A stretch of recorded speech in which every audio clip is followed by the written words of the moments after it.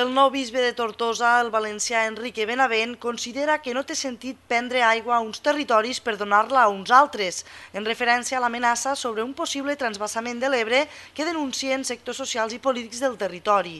acabat d'aterrar a Tortosa, Benavent ha dit que defensa els drets de les persones i els drets històrics de les persones, països i terres. En aquest sentit, ha dit que creu que no té sentit treure aigua a uns per donar-la als altres. Així ho ha assegurat el nou bisbe en la seva primera compareixença pública davant els mitjans de comunicació.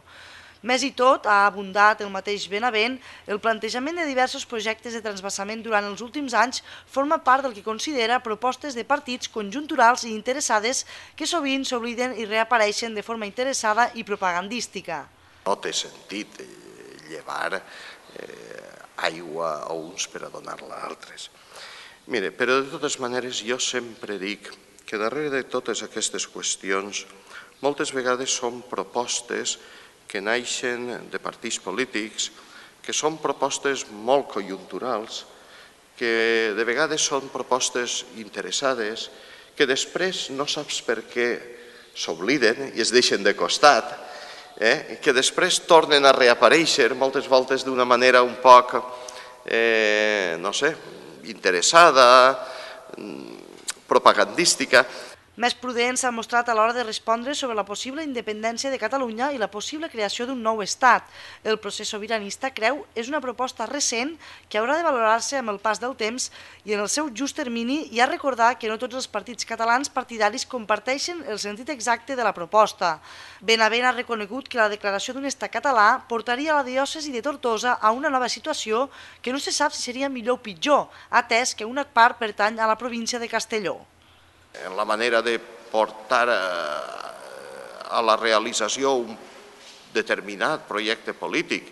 l'Església tinguera que dir alguna cosa perquè no es respecten drets de les persones, drets fonamentals de les persones, o perquè estan en jocs elements essencials que poden afectar al bé comú de les persones o de la societat, pues l'Església és quan hauria de dir una paraula, però no un bisbe en solitari, sinó crec que ahir es hauria de manifestar la comunió dels bisbes. Evidentment, jo no sé si seria millor o pitjor per al bisbat de Tortosa, però evidentment la situació del bisbat de Tortosa canviaria.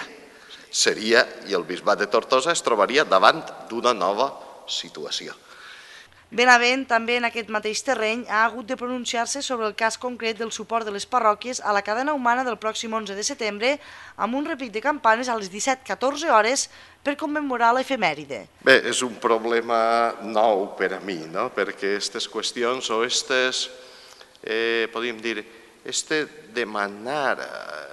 a l'Església una implicació en una acció que evidentment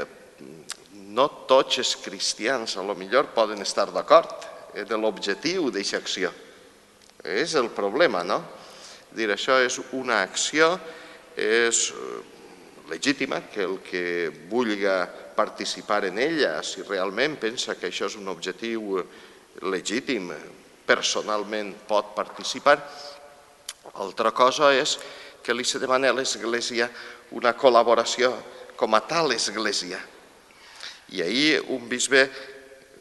i un rector d'una parròquia possiblement deu de pensar que és possible que no tots els cristians compartisquen aquest objectiu. Eh, aleshores, hauria que valorar un poc quina és la situació. En termes més estrictament eclesiàstics, Benavent s'ha marcat com a grans prioritats mantenir la presència de l'Església en la vida social, vivint amb alegria la fe, més enllà de condemnar el món, així com també continuar apostant per la caritat mitjançant la tasca de les entitats socials vinculades i l'aproximació entrar en relació amb el món juvenil per poder assegurar el futur de la institució. El nou bisbe, que ha reconegut el problema de la manca de vocacions sacerdotals a la diòcesi, ha descartat la possible reobertura del seminari de Tortosa.